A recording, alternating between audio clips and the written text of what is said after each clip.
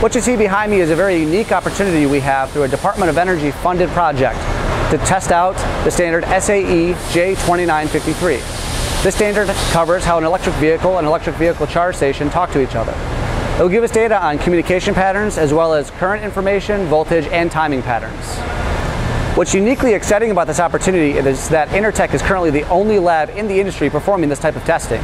We have 11 vehicles provided by different OEMs to be tested with all the charge stations you see behind me.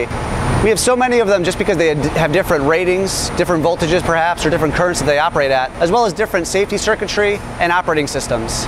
This round robin approach will give us a wide array of data to be used to show how effective the new SAE standard is.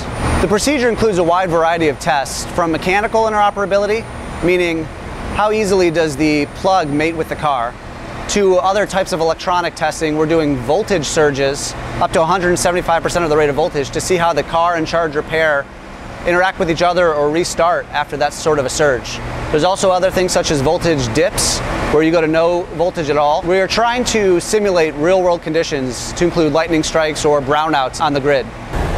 A typical test flow starts with a program power input from a supply that powers the charge station. The charge station plugs into the interoperability panel which has been supplied to us by our partners at the national laboratories. The panel acts as the intermediary between the charge station and the vehicle.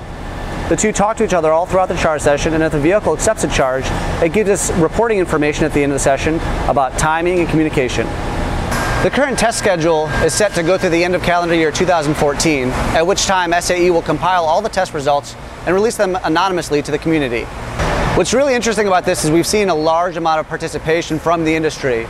On the OEM side, we have domestic as well as foreign OEMs who have donated cars for us to use during this period. As far as electric vehicle charge equipment goes, we have participants from large-scale international manufacturing companies all the way down to the small mom and pop shop, which is going to really help us get all the data we need to show how effective the standard is.